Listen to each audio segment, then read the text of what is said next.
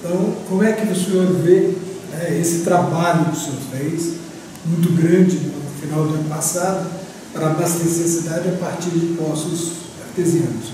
E hoje, né, com uma regularização proporcionada pela captação do Rio Jaguari, tornaram-se inúteis esses investimentos que foram feitos. Como é que o senhor vê isso hoje?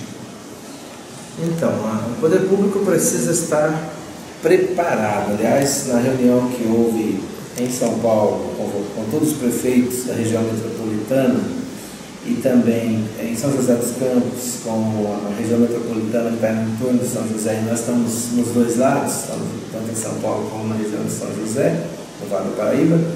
É, a preocupação nossa é não ser pego de surpresa com a falta de água.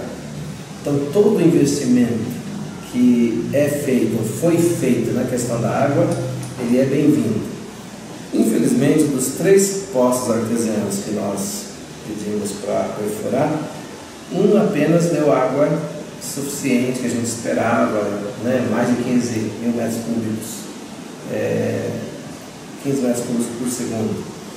É, aquele lá do, do, do Pouso Alegre, né, da Vila São Pedro, foi o, o, a maior quantidade de água. Infelizmente, o da Avenida Brasil e o da Vila Guilherme, a quantidade de água é muito pequena, né? a vazão é muito pequena. Agora, é pequena, mas uma emergência vai ser o que nós vamos poder utilizar. Então foi pedido para fazer análise da água, de uma água potável, os, os dois.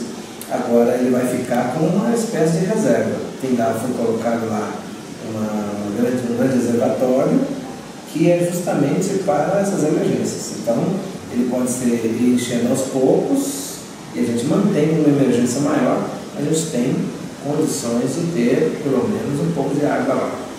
O da Avenida Brasil, a gente está fazendo a ligação é, dele na rede. Não tivemos mais problema de falta d'água na Avenida Brasil, mas a gente entende que ele vai ser um, um reforço para as pessoas que moram no final da Avenida Brasil. Então, também não vai ser desperdiçado. E na pior das hipóteses, fazer um reservatório lá de água potável também, lá no final. Porque numa, quem sabe aí, num problema sério de falta de água muito grande, nós poderíamos ter também ali um reservatório de água potável. Né? É, conseguimos resolver a situação no Jardim das Acácias, fazendo uma, uma tubulação paralela pela Estância Kennedy, Aliás, ontem eu recebi um, um torpedo muito simpático de, de, um morador do Jardim das Acácias agradecendo porque nunca mais faltou água na torneira da casa dele, depois que foi feita a, tubulação. O que a gente está cuidando com todo carinho, essa semana nós fomos lá e reforçamos, é o enrocamento.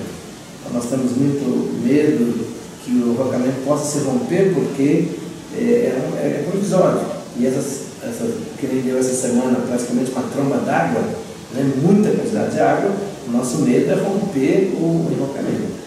Então, até que a gente consiga uma barragem definitiva, a gente tem que cuidar muito bem. Então, essa semana nós reforçamos o enrocamento, e é o enrocamento que está justamente fazendo com que não falte água é, aqui no, no, nosso município.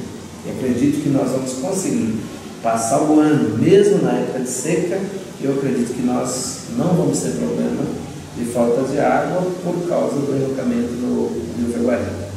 E o senhor pretende que ele seja o único, a única fonte de abastecimento?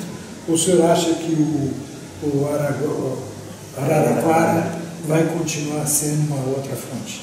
Nós estamos preparando, o Araraquara, tomara que ele aguente a seca. Né? Se ele aguentar, ótimo. Acho que na situação que nós estamos, em São Paulo está aliás, bem pior que nós, né, São Paulo. É, então, de onde nós conseguirmos água, vai ser bem-vinda. Então, se Araraquara conseguir continuar com água, ótimo, vai ser importante que a gente vai ter água para Itaú. Se secar o Araraquara, nós, nós já estamos providenciando para fazer essa ligação da ETA 2 para ETA 1 de forma definitiva.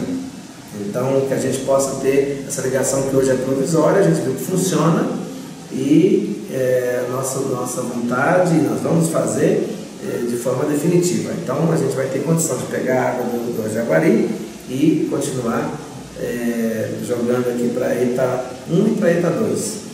E também já estamos olhando dentro do município onde existe mais água. Uma emergência maior, nós teríamos opções de, de, de buscar água em outros pontos também.